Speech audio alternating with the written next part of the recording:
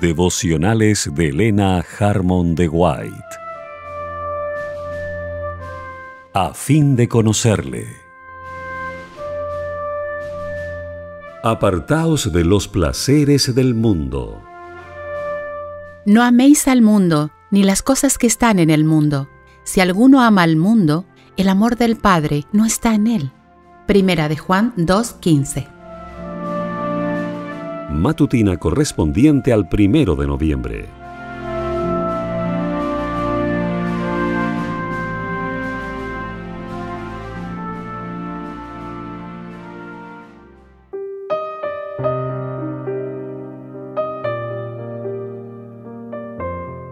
El verdadero cristiano no tendrá deseos de entrar en ningún lugar de diversión ni participar de diversión alguna sobre los que no pueda pedir la bendición de Dios.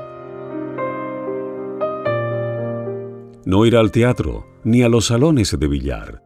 No se unirá con los alegres bailarines, ni participará en ningún otro placer seductor que borre a Cristo de su mente.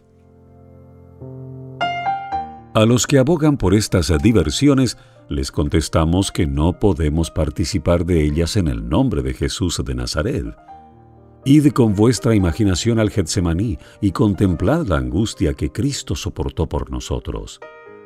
Ved al Redentor del mundo luchando con agonía sobrehumana con los pecados de todo el mundo sobre él. Escuchad su oración llevada por la brisa. Padre, si queréis pasa de mí esta copa, pero no se haga mi voluntad, sino la tuya. Había llegado la hora de las tinieblas. Cristo había entrado en las sombras de su cruz debía beber solo la amarga copa. De todos los hijos del mundo que había bendecido y consolado, no había uno solo que lo consolara en esta terrible hora. Lo traicionaron y entregaron en manos de la turba asesina. Desfallecido y cansado, lo arrastraron de un tribunal a otro. El que no conoció la mancha del pecado derramó su vida como malhechor en el Calvario. Esta historia debería conmover profundamente a cada alma el Hijo de Dios se hizo varón de dolores, experimentado en quebranto, a fin de salvarnos. Mantened constantemente en vosotros una vislumbre del sacrificio infinito realizado por nuestra redención, y el salón de baile perderá su atractivo. Cristo no solo murió como sacrificio por nosotros, sino que también vive como ejemplo para nosotros. En su naturaleza humana aparece íntegro, perfecto, inmaculado. Ser cristiano es ser como Cristo.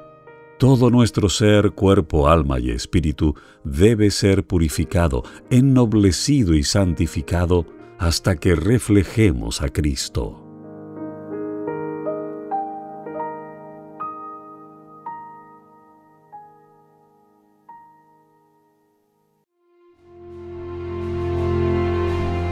Devocionales de Elena Harmon de White.